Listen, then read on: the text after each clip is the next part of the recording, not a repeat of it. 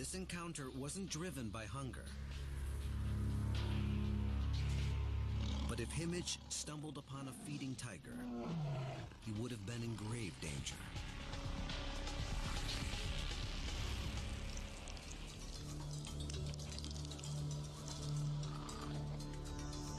Fresh meat is a staple for any carnivore.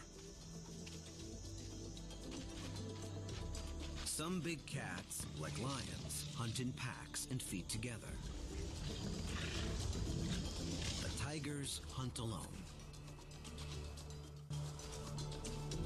And when tigers catch big game, they don't like to share. Instead, they conceal their kill, feeding on it over the course of multiple days.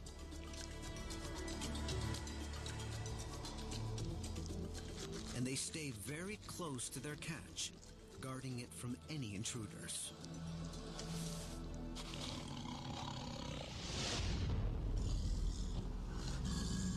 But this behavior does not explain the attack on Sergei Sokolov or Vitaly Himich.